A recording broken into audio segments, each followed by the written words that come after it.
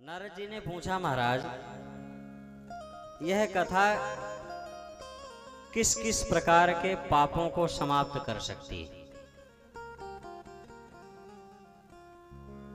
कितने प्रकार के कष्टों को समाप्त कर सकती है?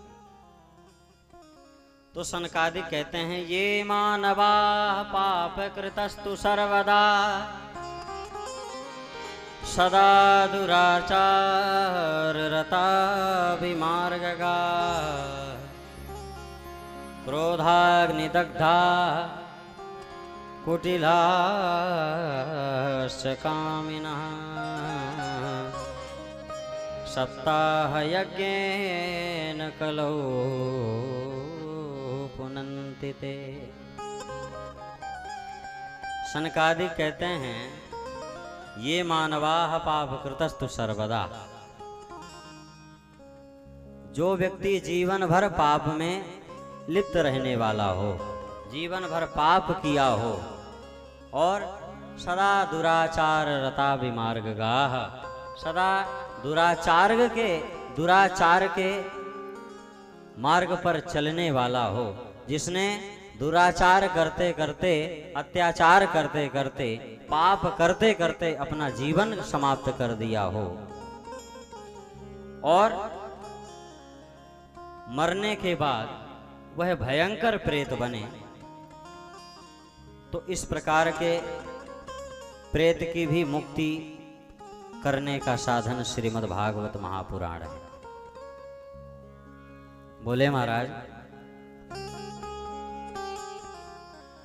जब यह भागवत की कथा इतने भयंकर प्रेत की मुक्ति कर सकती है तो कोई एकात उदाहरण भी दे दो और अच्छे से विश्वास हो जाए। तो सनकादि कहते हैं अत्र ते कीर्तयिष्यामि इतिहासं पुरातनम्। यस्य श्रवणमात्रेण पापहानिः प्रजायते। तुङ्गभद्रातटे पूर्वमभूत्पतनमुत्तमम्। यत्र वर्णाः स्वधर्मेण सत्यसत्कर्म तत्परा सनकादिक कहते हैं, नारद जी अत्र ते इतिहासम पुरातनम। आप लोगों के बात समझ में आ रही है कि नहीं आ रही? कथा समझ में आ रही है? ना समझ में आए तो बता देना। नहीं समझ में आनी चाहिए। व्यक्ति कथा सुनने के लिए तो आया है। हम सुनाने आए हैं और आप सुनने आए हैं। तो कथा समझ में आनी चाहिए, तब तो बैठने का भी लाभ है और हमारे सुनाने का भी लाभ है। मैं प्रयास यही कर रहा हूँ कि जितना सरल हो सके, गुरुजनों का जैसा आशीर्वाद प्राप्त है। गुरुजनों से जो कुछ भी सीखा है बड़ी सरलता से मैं बोलने का प्रयास कर रहा हूँ। जो बातें समझ में ना आए तो कथा के बाद आप पूछ लेना। कोई प्रश्न भी हो तब भी पूछ लेना। तुरंत जवाब नहीं मिले तो बाद में भी मिल सकता है, लेकिन पूछ लेना। संकोच करके नहीं रहना। कथा समझ में भी आनी चाहिए, ठीक है? सनकादि कहते हैं, अत्र ते कीर्तयिष्यामि इतिहासम पुरातनम। मैं यहाँ पर बड़ा पुराना एक आपको इतिहास सुनाता हूँ। वो इतिहास कैसा है? बोले यश श्रवण मात्रेण पाप हानि प्रजायते, जिसके श्रवण मात्र से हमारे जो पाप हैं, वह सब के सब समाप्त हो जाते हैं। कहते हैं, महाराज, तुंगभद्रा नाम की नदी के तट पर एक उत्तम नाम का नगर बसा हुआ था। तुंगभद्रा नामक नदी के तट पर एक उत्तम नाम का नगर बसा हुआ था, जहाँ पर सभी वर्ण के, सभी धर्म के लोग रहते थे और अपना अपना धर्म पालन करते हुए जीवन निर्वाहन करते थे। उन्हीं में से एक बड़ा तेजस्वी ब्राह्मण, आत्मदेव नाम का ब्राह्मण, जो ज्ञान में अपने तपोबल से उसका ऐसा तेज था कि मानो महाराज वो दूसरे सूर्य के समान ही दिखाई पड़ता था। ऐसे श्री आत्मदेव जी महाराज बड़े धार्मिक थे।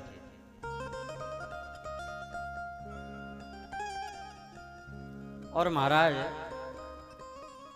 उनको कष्ट केवल एक बात का ही रहता था। अच्छे धनाढ़ भी थे, धन वैभव भी था, सब कुछ था। लेकिन उनको कष्ट केवल एक बात का था कि हमारे कोई संतान नहीं है। आज के समय में संतान का ना होना भी एक बहुत बड़ा पाप है, अभिशाप है। हमारे पितरों का रुष्ट होना है यह हमें समझना चाहिए। संतान का ना होना मतलब हमें सबसे पहले यह समझना चाहिए कि कहीं ना कहीं हमारे पितरों की रुष्टता है, हमारे पितर दुखी हैं, हमारे पितर यदि प्रसन्न नहीं हैं तो पितर के दुखी होने का सबसे पहले नंबर की पहचान है कि वंश वृद्धि रुक जाती है।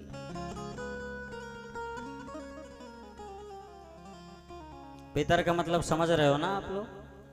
हाँ।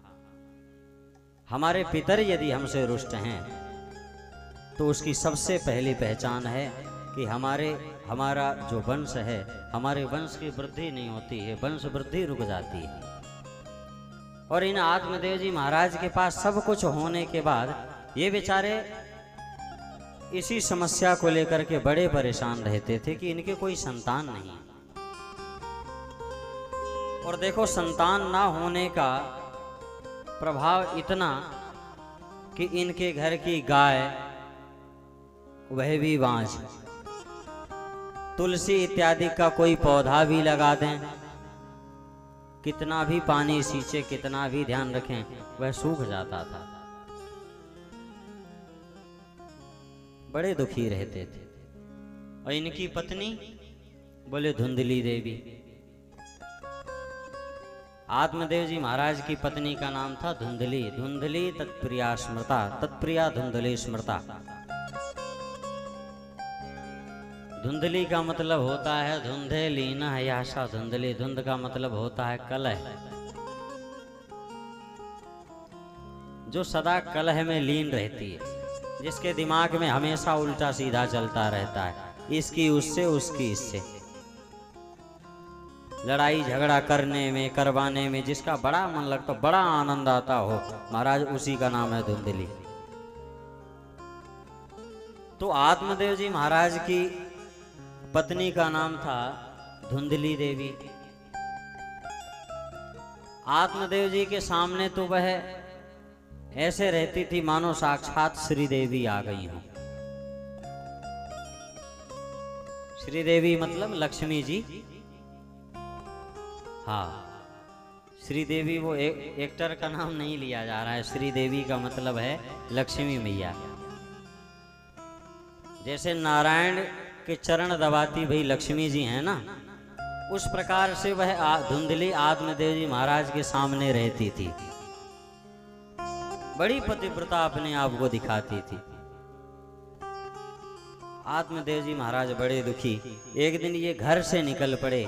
कि जब तक मुझे पुत्र की प्राप्ति नहीं होगी, तब तक मैं घर में वापस लौट करके नहीं आऊँगा। घर से निकल पड़े।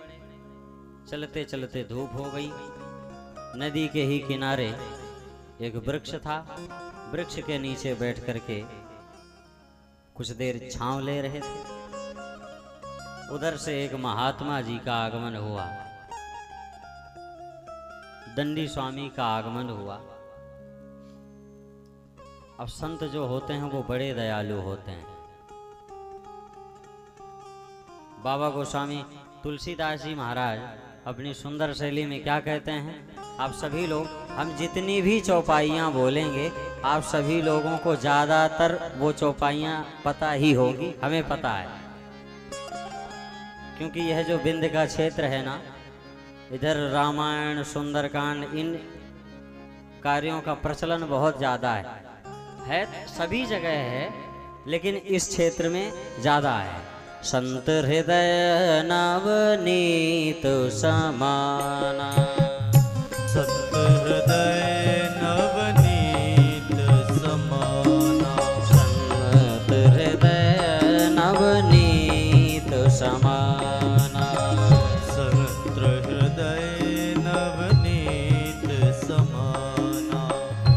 संत हृदय नवनीत समाना।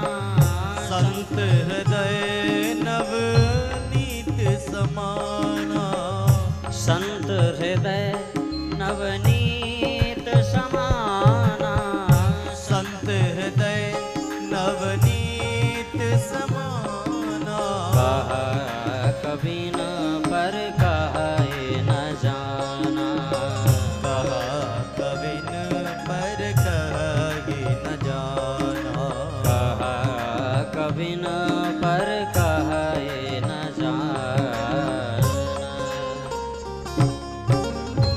तुलसीदास जी महाराज कहते हैं, संत हृदय नवनीत समाना।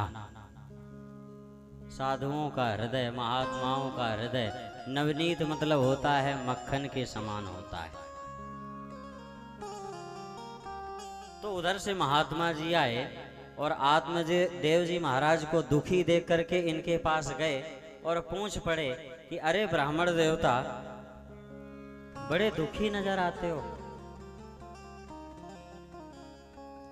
देखने में तो बड़े दिव्य लगते हो, दिव्य स्वरूपधारी भी लगते हो। तुम्हारे पास तो सब कुछ है, अच्छे अच्छे खासे खाते पीते परिवार से लग रहे हो। फिर रो क्यों रहे हो, परेशान क्यों हो, दुखी क्यों हो? तो आत्मदेव जी महाराज कहते हैं, रहने तो महाराज, आपके बस की बात नहीं है। महात्मा जी कहते हैं अच्छा हमारे बस की बात नहीं, कौन सी ऐसी बात है? अरे बोले, वो साधुओं, महात्माओं के बस की बात नहीं है, हटाओ, रहने दो। अरे बोले, ब्राह्मण देवता, अपनी समस्या हमें बताओ तो सही, जब पूछ लिए हैं तो बता ही दो। कहते हैं, महाराज, आप हमें ठीक पहचाने, हमारे पास भगवान का दिया सब कुछ है। लेकिन एक बात का ही हमें बड़ा कष्ट है। क्या? बोले, हमारे कोई संतान नहीं है। अब महात्मा जी बोले, अरे भैया, कहा तुम? घर परिवार के मोह ममता में पड़ रहे हो, पुत्र की मोह ममता में पड़ रहे हो। इतना सब कुछ होने के बाद भी पुत्र के लिए आप इतने परेशान हो रहे हो, इतने दुखी हो रहे हो अच्छा ये बताओ, पुत्र तुम्हें मिल भी जाए तो इसकी क्या गारंटी है कि वह पुत्र तुम्हारी सेवा करेगा, तुम, तुम्हारी रक्षा करेगा, तुम्हारा ध्यान रखेगा हाँ तुम्हारा ध्यान देगा? कुछ कहा जा सकता है? कुछ नहीं कहा जा सकता। कोई गारंटी नहीं है कि पुत्र पाकर के तुम खुश ही हो जाओगे। हो सकता है अभी कम समस्या हो, बाद में और समस्या बढ़ जाए।